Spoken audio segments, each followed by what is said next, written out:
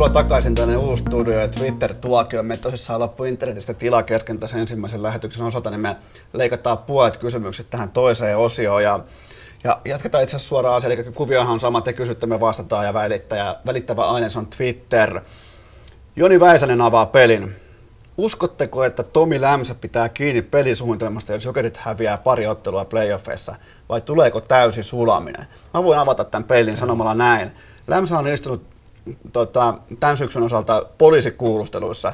Hän on joutunut Raimo Summasen tulilinjalle. Hän on oikeastaan nähnyt jääkiekko ammatissaan tämän vuoden osalta ihan kaiken. Niin pari tappiota playoffeissa ei mitään merkitystä, ei minkäänlaista heilahdusta suuntaan tai toiseen. Tämä on mun näkemys. Joo, kyllä mäkään en usko, että, tuota, että se niin sanottu sulaminen tapahtuisi sen takia, että kantti pettäisi. Mutta että faktahan on, että hänen oppi-isänsä Erkka Westerlund – lähti reagoimaan viime kaudella väärin muuttamalla jokereiden pelaamista pystysuunnan jälkeen, koska Westerlund jälkikäteen itse tunnusti, että se oli häneltä virhe. Niin mä luulen, että Lämsä on painanut korvan taakse sen opin viime kaudesta, että sitä peliä ei pidä lähteä muuttamaan. Ja, ja nähnyt, nähnyt, ja nähnyt kyllä, kyllä, omin silmin sen kyllä, vierestä. Kyllä. Se varmaan on kaikista merkittävin. Tota, mä olin tapaamassa Tomi Lämsä hänen kauden alkua Hartwell Areenalla, niin se oli jo silloin puheenaiheena se asia, että meidän pitää olla silloin yhtenäinen, tiivis ja samalla sivulla kun alkaa pudotuspelit. Ja silloin niitä yhden maalin tappioita Jypille, kumppaneille, niitä ei vaan voi tulla, vaan se pitää se tapa voittaa, niin se pitää olla silloin selkäytimessä ja lähinnä, lähinnä nimenomaan just pelitavan kautta. Kyllä, ja sovitulla päätetyllä pelitavalla pelit voitetaan ja hävitään. Ja itse asiassa tätä ei tällä hetkellä Suomessa vielä hallitse ko- mestaritason valmentajatkaan. Nyt on sellainen tilanne, että pitää ottaa mukaan myös Juuso Sainian kysymys. Tämä on harvinainen hetki No niin. hetki Twitterin historiassa. Hän on nimittäin kysynyt kysymyksen, joka liittyy myös jääkiekkoon. Onko yksikään liikapelaaja näyttänyt jäällä niin löysältä kuin Joel Armea näyttää jokaisessa vaihdossaan? Tämä on itse asiassa aika hyvä filosofinen kysymys. Huippupelaajan yksi ulottuvuus voi parhaimmillaan olla se, että hän näyttää todella löysältä ja sitten kun se paikka tulee, niin pistää sen kiekon sinne maaliin. Että, että vaikka mäkin olen paljon kritisoinut armiaa, niin hänessä on kiistatta myös tällaisia mielenkiintoisia, jännittäviä ulottuvuuksia. Ei jääkiekkoilijan tarvitse koko ajan painaa peräsuoli pitkällä paikasta toiseen sinne, mutta edelleen mä sanon, että armian pelaamisessa, etenkin puolustuspelaamisessa on suuria puutteita. Ja armeija tarvitsee vielä siihen oikeastaan siihen löysyyden ja suorittamisen välille tarvii ne ensimmäiset potkut. Mä puhun nyt tietenkin ihan fyysisestä kehityksestä ja siitä, miten hän pystyy liikuttamaan itseään absoluuttisessa liikennopeudessa.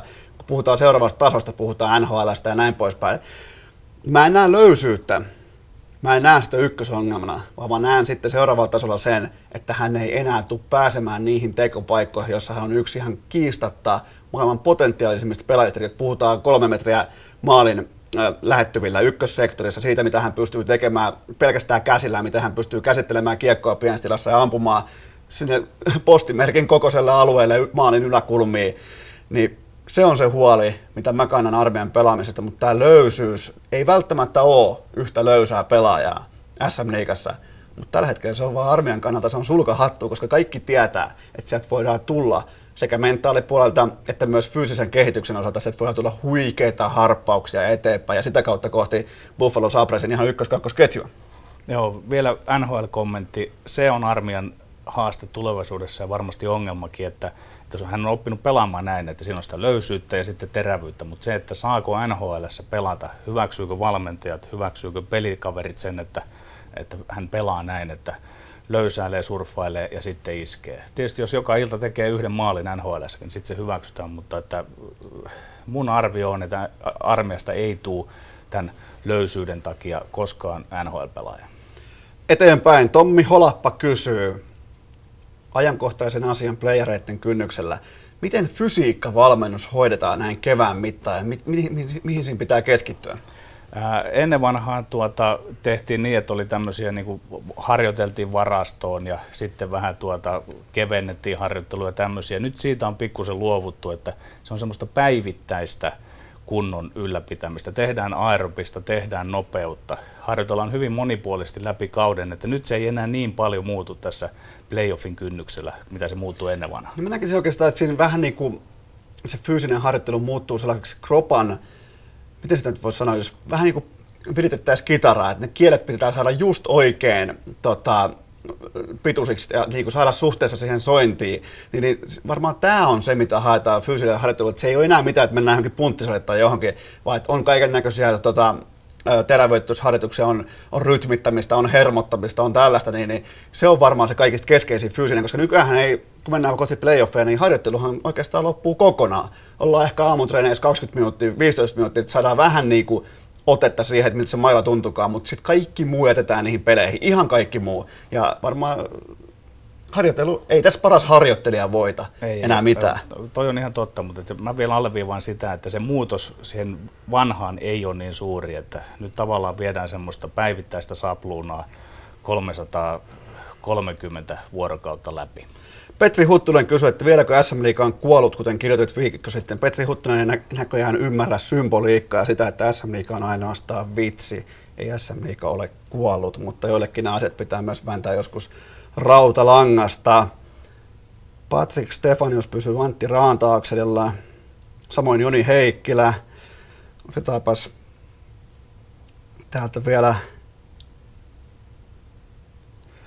Erik Hakala kysyy, kenelle pitää antaa potkut Turussa? Tähän onkin hyvä kysymys, koska tämä käsittää koko Turun kaupungin, joten anna palaa. No kyllä se voisi olla Jukka Koivulle ja Ari Vuorelle. Ari Vuori on ollut erittäin heikko pelaajakoordinaattori ja sitten Jukka Koivu on vähän siinä leikkinyt johtokunnan jäsentä, että tästä se putsaaminen pitäisi aloittaa. Eli johtoportaasta lähtee. Kyllä. Jos, jos TPS haluaa palata suureksi, niin, niin voiko se ylipäätään olla mahdollista sillä, että edetään näillä tämmöisillä mm, tota, kovan vallan Jukka Koivulla ja kerran elämässään onnistuneella Ari Vuorella ja näin, vai pitäisikö se ihan oikeasti savustaa kaikki ulos ja putsata pöytä ja aloittaa uudelta tavallaan niin kuin uusi uuden tulevaisuuden niin kuin pitkäkestoinen rakentaminen? Joo, kun se ongelma on siinä, että siellä on, on Tammisen leiriä ja on Koivujen leiriä ja on Jordikoiden leiriä. Tämä on sitä Turun tautia ja, ja, ja mä arvelen, että niin kauan kuin tästä ei päästä, että siellä vuorotelle joku on vallassa, ketoset on yksi, yksi osa tätä ja muuta, niin tuota, sieltä se putsaus pitäisi lähteä. Mutta kuka sen putsauksen tekee, ei sille ole tekijää, koska sitten se on aina joku näistä leireistä, joka vuorollaan niin. tulee sinne valtaan. Jere Heikkinen kysyi, että tehtäisikö lyhyt analyysi jokereiden päävalmentajasta Tomi Lämmästä. Siitä on uusimmassa urheilulehdessä, siitä on neljän sivun juttu, joten ei lähdetä puhumaan sen päälle nyt. Ja lukekaa sitä lehteä ja opiskelkaa sieltä. Täällä alkaa olla aika paljon S-kysymyksiä nyt rivissä. Otetaan vielä tuosta viimeisimmät, viimeisimmät tota, herkut alta pois. Täällä on hyvin kanssa huomattu sekin, että Erik Kaasov voittaa SM Liikan pistepörssin, mikä on kohtalaisen irvokasta. Siis tota, pakkien pistepörssin, mikä on kohtalaisen ir- irvokasta. Tota, joo, se Hirvonen kysyy, että löydetäänkö Sien lisäksi jotain muita yli odotusten onnistuneita? Pidetään tämä viimeisen kysymyksen. No kai siihen, Esko, siihen sun alkuperäisen arvioon nähden, niin Tappara on kuitenkin ollut parempi, mitä sinä olet. ennen kaikkea, ennen kaikkea Pikku Parkkovi on ollut jäätävän kova. Ei ainoastaan se, että hän, jos me katsotaan hänen peliä tota, tilastojen valossa. Ei ainoastaan se, mitä niissä lukee, vaan se kokonaisvaltaisuus, se, että mopoautoilija pystyy ottaa SM Liikan ihan sataprosenttisesti haltuun, pystyy dominoimaan keskikaistaa ykköstasolla Suomessa, niin se on tullut mulle todella suurena yllätyksen, koska viime kauden Parkov oli kuitenkin jotain ihan aivan eri, niin kuin aivan eri pelaaja kuin tämän kauden Parkov. Mua itse asiassa mua vähän pelottaa jo, kuinka hyvä Parkov me nähdään ensi kaudella NHL, ei SM Liigassa, NHL tai AHL. Toivottavasti hän jättää SM Liigan, täällä ei ole enää mitään. Hän on vähän niin kuin pelannut tämän pelin jo läpi. Toivottavasti hän jättää SM Liigan ja siirtyy uusien haasteiden pari, pariin välittömästi kesän NHL Drafti-tilaisuuden jälkeen. Oletko samaa mieltä? Joo, ei tohon lisättävää, mutta ei, ei meidän sovi nyt unohtaa Saipaakaan. Jos Saipa todella on kymmenen sakissa, niin... Mutta mehän arvioitiin Saipa sinne. Me arvioitiin Saipa kymmenen sakkia. Oltiinko niin viisi? Oltiin, oltiin. Okei, okay, mä näköjään unohtelen. Nyt voit mennä Hämeenlinnan torille huutamaan, että aina sanon, että Saipa on hyvä joukko. Mutta HPK on tullut meille yllätyksen. No se, joo, HPK on pelannut myös yläkantti. Hyvä. Eli nyt on Twitter-tuokeita jälleen käyty läpi vapaamuotoisesti, mutta pakollisella tavalla. Eli Siinä oli kaikki kysymykset näiltä osin. Tämä on kahdessa osassa. Kattokaa kumpikin pala, niin tiedätte kaiken, tai ainakin jos osittain jotain jälkeen, ei muuta kuin kiitoksia seurasta.